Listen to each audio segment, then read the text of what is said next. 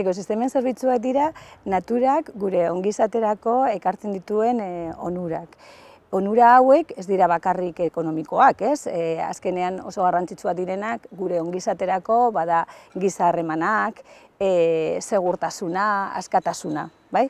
Eta hiru taldetan zelkatzen dira. Alde batetik hornidurakoa direla zuzenak, ez? Errez ulertzekoak, ba, likagaiak, ez? Edo e, erregulaziokoak, eta hauek azkenean e, dira, bueno, ba, ekosistemen funtzioaren bidez, e, zeharkakoak dira, ez? Badibidez, ba, e, temperaturaren kontrola, ez? Edo uholdeak, edo gaixotasunak.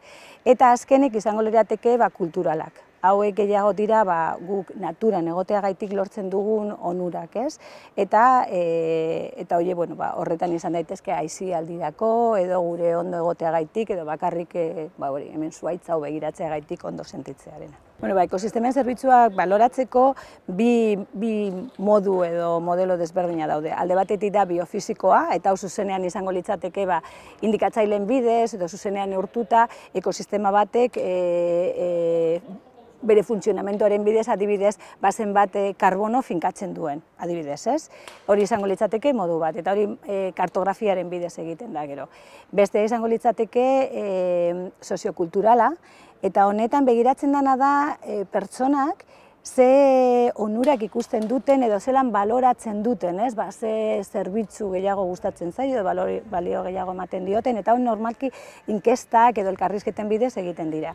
Eta azkenik izango litzatekena da, eta guk azkenean ez dugun egiten asko, da ekonomikoa eh? eta askotan kudeatzaileak eta eskatzen dute, ez? eta azkenean da balio bat ematea, bazuk imaginatu, ba, hor igual errezena izango litzateke hornidurakoak, ez? Ba, zenba janaria e, koizten duten, baina ere best aldetik gaur egun ere egiten da, ba, zenba karbono finkatzen duten, eta horrekin ba, badago hori, ba, zenba karbono finkatzen duzu, ba, ez dakizen bat iru e, aurre, aurrezten duzu edo ematen dizute. Ba, nola integratu daitezkeen ekosistemen zerbitzuak e, hirietan?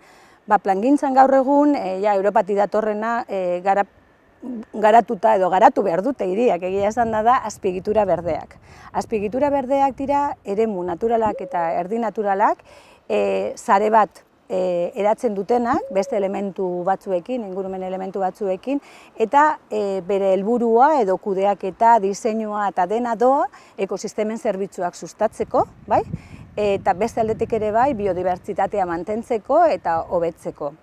Adibidez, bueno, ba, errezena danok ulertzeko ba, izango lirateke parkeak, baina kudeatuak egotea eta diseinatuta tamaina minimo batzuekin, eta gainera oso garrantzitsua dena da konexioa konexioa. Eta, bueno, ba, igual hiri baten ezin dituzu dana konektatu errez, ez baina, bueno, zuaitzak, hirien zuaitzak ere izango lirateke azpigitura, azpigitura berde hoien parte bat. Ekosistemen zerbitzuak gizartean eragin zuzena daukate, bueno, bai, zerkako, baina zuzena gure, batez ere gure ongizatean, ez? Eta horrekin e, gaur egun gizartea ondo konturatzeko zer diran edo zer eragina daukaten da osasuna oso zuzena dago lotuta ba hori gu nola sentitzen garen, baina ez bakarrik hori.